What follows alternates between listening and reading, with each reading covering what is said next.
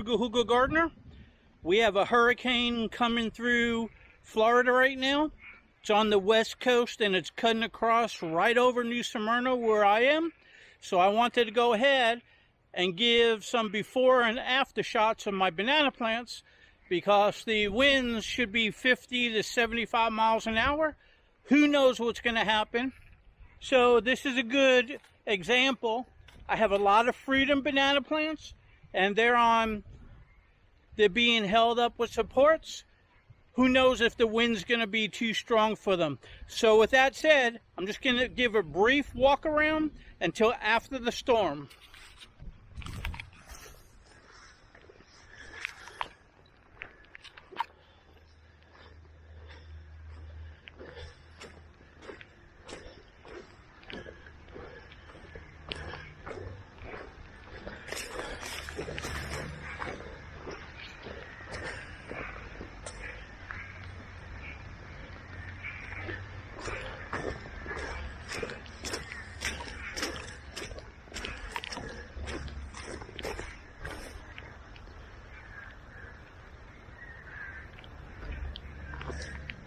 I'm filming this in the rain, as you can see.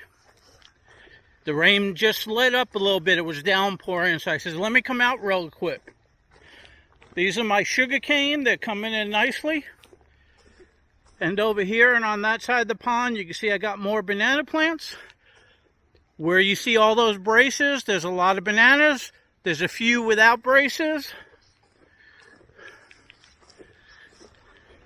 50 to 75 mile an hour winds is going to be pretty hard on these plants.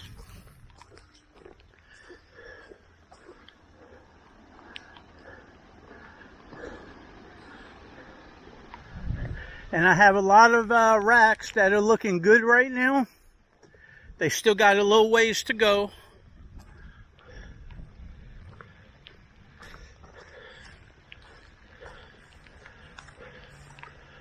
Okay, so that was a walk around over here, down around the backside. okay,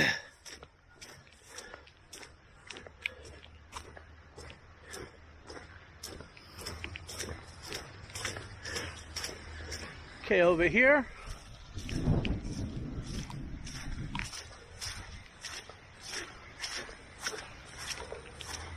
The calm before the storm.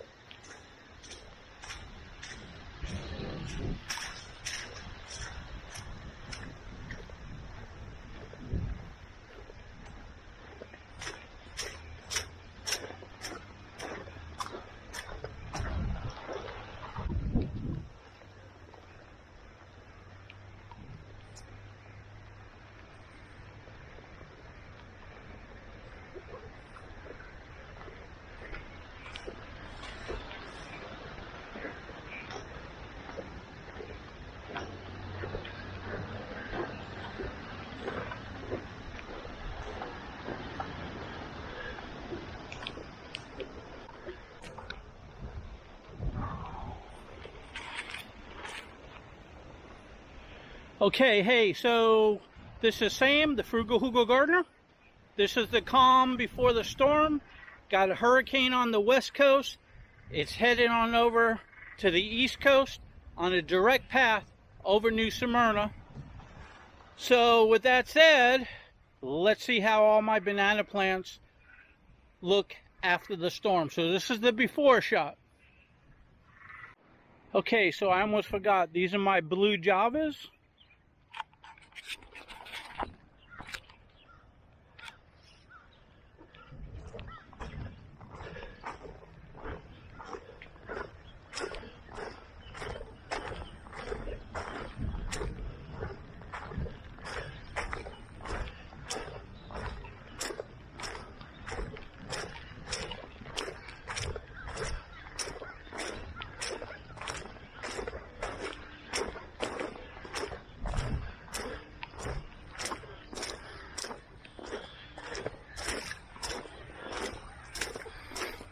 Okay, and back over here are some other varieties going down the back, like Manzano and stuff like that. They're giving off fruit too. Okay, so I'm headed back in to stay high and dry. We'll see you soon.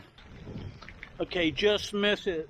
There was some bass swimming down the road over here. He just went into that dark spot. The bass are from the uh, the lake overflowing. This is the lake overflowing right here. Moving like a stream.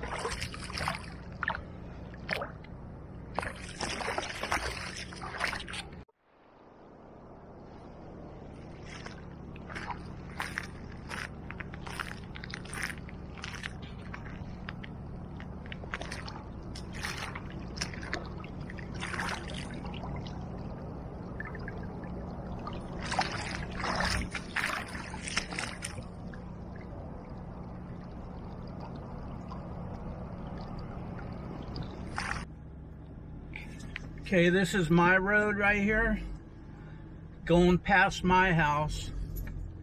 You can see the road is flooded. That's the uh, Cone Lake is flooded. My neighbor's yard is totally full. The culverts are all the way to the top. You got bass swimming in the road. Good size, I might add. And the bass was a good size, no doubt. Okay, this is my property right over here. This is my neighbor's. I have a bunch of banana plants down. We have the lake overflowing from back there across the street over here. It's flowing into my yard by my pond over there, but not affecting the house. As you can see, I got banana plants down all over. I'll film those later. Right now, I'm just looking at all the damage.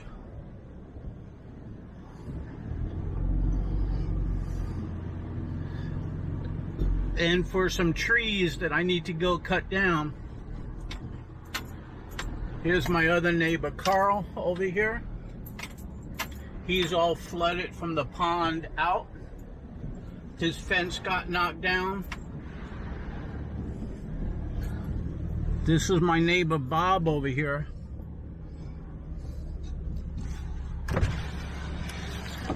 He's all flooded up to his house, all the way down that way.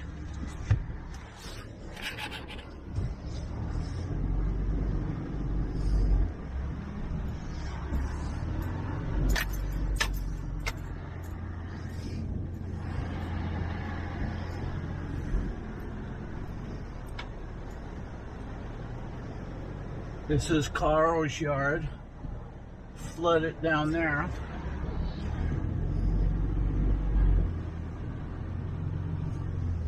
That's flooded all the way down to the next street.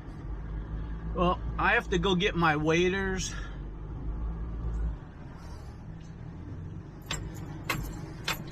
So let me shut off the video and see if I can turn. Okay, so I just got my waders and put them on. Now I'm driving back down the road and I'm gonna see if I can walk down and see if I could cut down those trees or cut them up that fell. We'll find out shortly. Maybe I'll be able to, maybe I won't.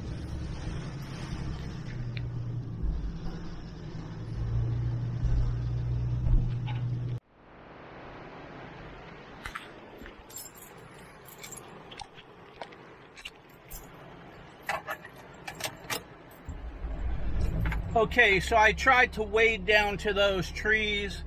It started coming down. I'm going to wait a little bit. Can't chainsaw in this pouring rain. So I'm going to turn around go back.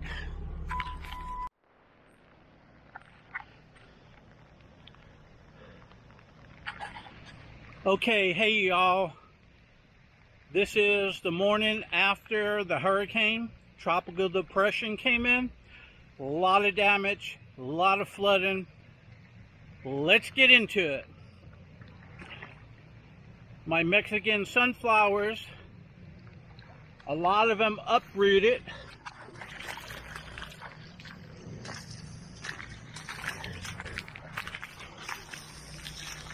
If I could get in here, you can see the roots. The roots uplifted right at the ground.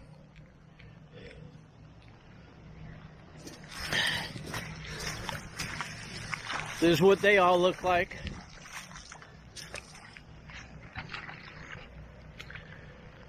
Okay, it's raining right now. I just wanted to go ahead and, and do a, a tour of the damage. So what I'm gonna have to do with these is take out my chainsaw and cut them about two feet high, set them back in with the tractor, and they'll start growing again. As you can see over here, my pond is even with the ground because it overflowed. My banana plants over here, these are all my ice cream banana plants. They got hit hard.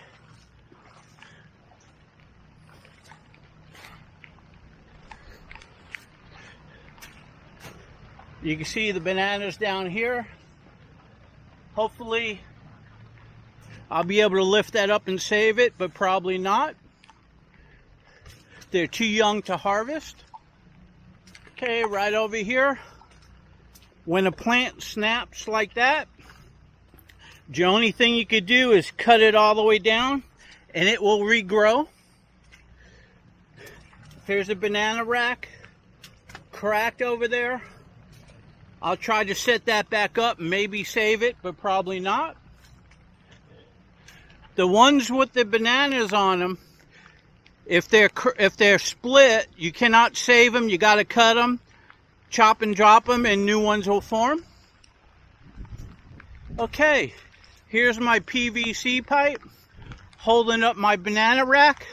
That's the only thing that saved it. Right over here is a big blossom. This one here split right down there at the root. So that's a, a blossom. That's a banana plant. I got to chop and drop it. There is no saving that. Okay, now coming down over here, here's a banana plant. Let me get up on in here. Now it just bent and it did not break. So I'm going to go ahead and push that up with the PVC pipe. Give me a moment.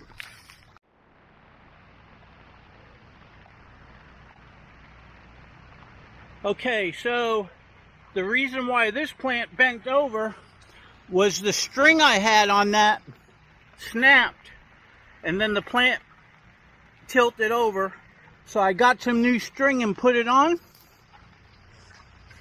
So the banana plant is up right now, temporary. And down in here, there's no split, so I saved that plant.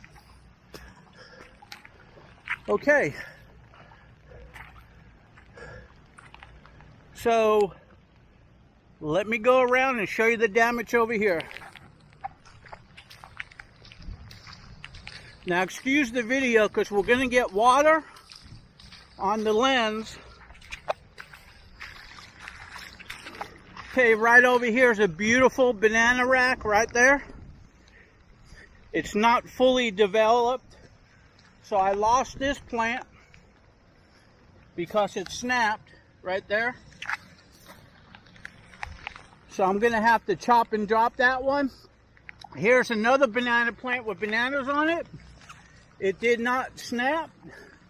So I'm going to prop that one up right now before it tips all the way over. Okay, give me a moment.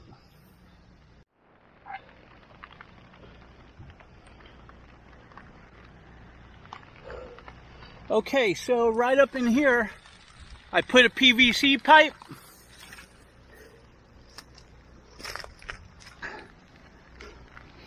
And I push that plant back up. You see it, that PVC pipe is holding it. Down at the bottom, I got lucky. It did not split. But I'm going to have to shore up a lot of those plants.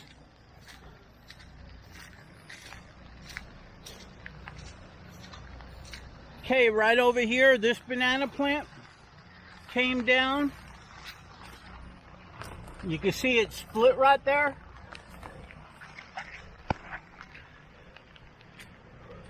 So I'm going to have to chop and drop that. Now, going on over to this side, let's see what I can save or not.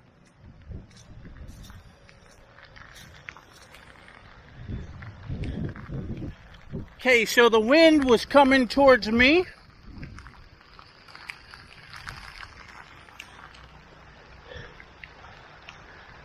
And my banana plants that were being held up, they're doing good.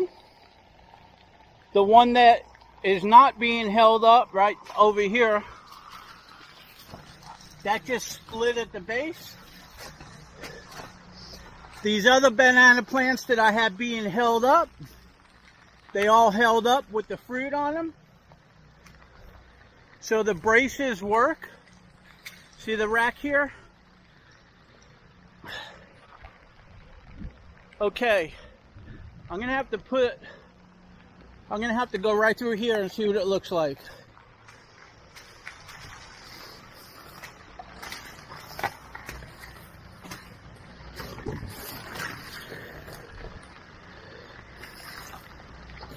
What a mess.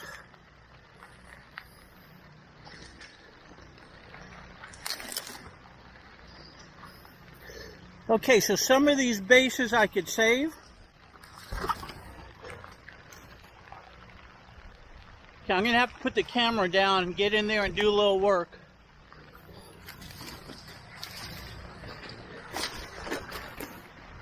Okay, I'll tell you what, before I get in there and uh, start doing some work, let me show you some other plants because I'm to have to get in there and uh, prop up what I could. Okay, over here, my whole road is flooded. The culverts are all the way up. I'm wearing waders, as you can see. Now right over here, I had this banana rack being held up. It's still being held up. I lost this praying hands right over here. There was nothing propping that one up.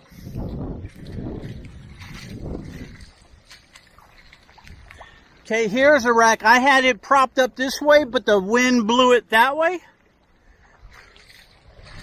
Luckily, this one was saved, but look at all those. I got a lot of work to do in here.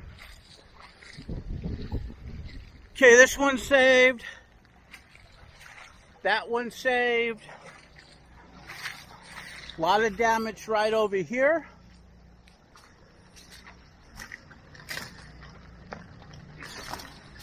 Maybe I could uplift that and trim it and save it. I don't know. Okay, so these banana plants were, were they were coming this way and propped up, but the wind blew them the opposite way.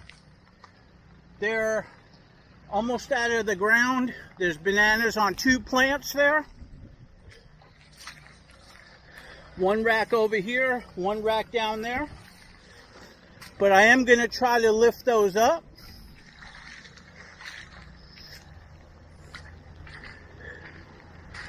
Okay, right over here, this uh, this held up really well.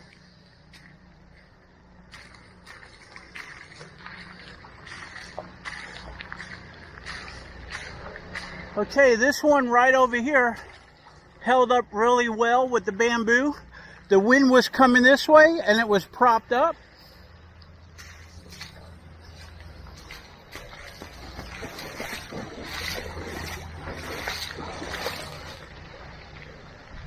Okay, coming down on this side and walking around, you can see everything's pushing towards me, but right over here, my big rack, you can see the bamboo. The bamboo was holding it this way, so the wind could not blow it over. Same thing with this big rack. The wind was blowing this way. The bamboo held it up. Same thing with this rack. And too bad about this one here. I cannot save those and they're not fully developed.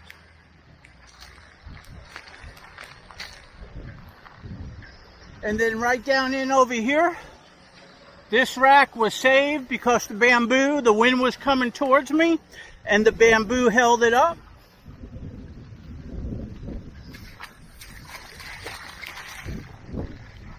Okay, so this one, the bamboo shifted and the bamboo's holding it up. But I'm going to go ahead and rearrange it with the bamboo on that side. And I may take a string down into an anchor in the ground on some rebar. But for right now, that's okay. Okay, hey, so you can see the damage. Um, these are all secured right now. We got more of a storm coming but I'm going to prop up what I could there. It seems to me all the braces that were on this side holding up the plants, all those plants are good. The braces that were on this side, the, the hurricane force winds pushed the plant the opposite way. So if I had supports on both sides, they would have they would have uh, stood up. So if I ever got to go through this again, I'm going to put bamboo on both sides and support them up both ways because I didn't know which way the wind was going to come through. So, anyway, I got to get back here. I got to get in there and somehow take care of that mess.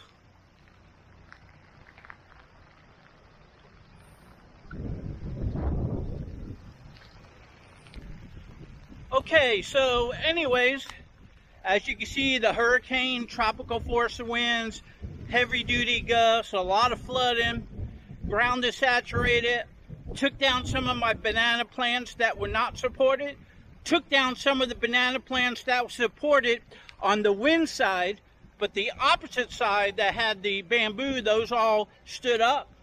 So I'm to have to lift up and salvage which ones did not split at the base, and they'll be saved. The ones that split the base, I gotta, unfortunately, machete them down. The fruit, if they're still square, they're not ripe enough to save, so that's gonna go in the ground for compost.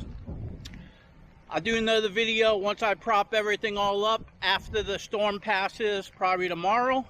So anyway, hey, this is Sam, the Frugal Hugel Gardener surviving the Florida weather of a hurricane and tropical depression or tropical storm that came through with tons and tons and tons of rain.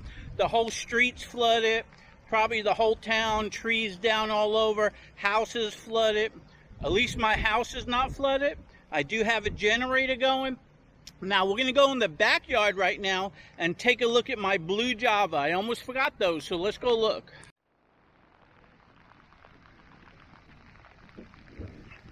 Okay, so on my way to Blue Java, here's some more Mexican sunflower. They went ahead and uprooted, so I'm gonna have to cut those down with the chainsaw, lift up the roots, and they'll survive.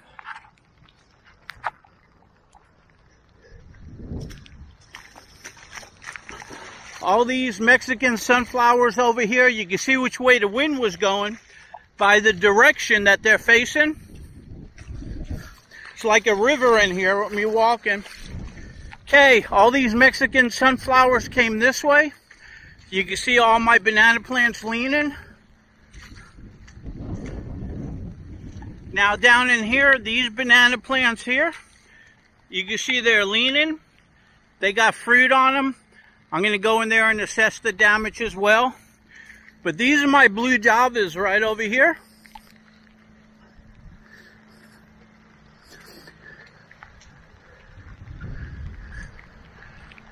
Here's a blue java right there giving fruit. Luckily, this survived. I'm going to have to prop it up.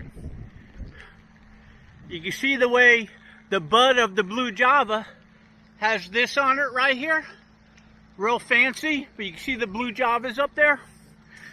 So I got to prop that up. Now coming on down this way, Here's a blue java plant and some pups. You can see right down in here the root split. So this plant here, what I'm going to have to do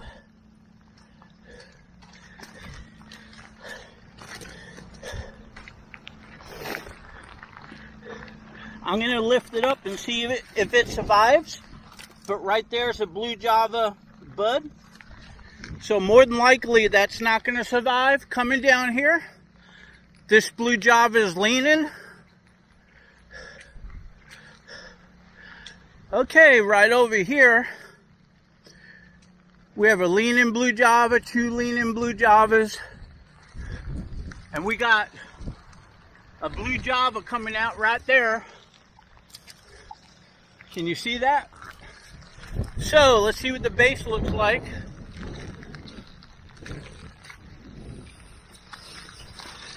Okay, the base looks good. So I'm going to be able to prop that blue java up and get some fruit out of it. Whew. Right over here, same thing. Another blue java. This plant's looking good, no fruit, but they're standing up.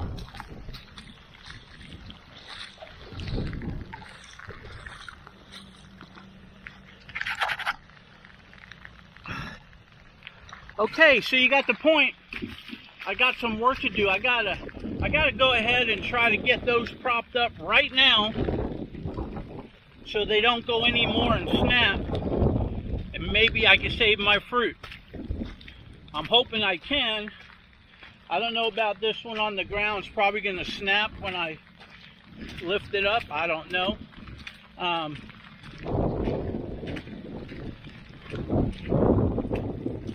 but anyway, let's take a look at this blue java.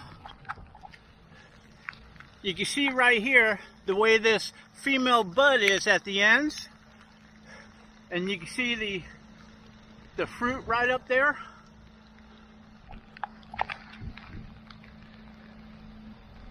That's what a genuine blue java looks like. So before I do anything else, I'm going to go ahead and try to support my blue javas. So anyway, hey, this is Sam, the Frugal Hugel Gardener. Just went through a hurricane, a tropical storm, a lot of rain, a lot of flooding, a lot of wind, took down some of my banana plants. Maybe I could save some, maybe I can't, but I still got a lot more. So hey, if you like the video and you want to see more of them, give me a like, give me a share, come on over to my Facebook page, come on over to my Facebook group, and we'll be back at you. Okay, so hey, this is Sam, the Frugal Hugel Gardener. I'm supporting my banana plants that fell down, that's got fruit on them. This one happens to be a blue java with a new bud. It snapped the roots, but it did not snap the plant. So I'm pushing it upright. I got my tractor over here. I removed one of the forks, so now I just got one. And I lifted it up now I'm going to prop it up and support it. And I'm hoping that I can save this banana plant. But probably not because now that it's fruiting, it needs all of its roots. Let's just hope there's enough root on there to support the banana plant or to support the bananas. So let me get to work.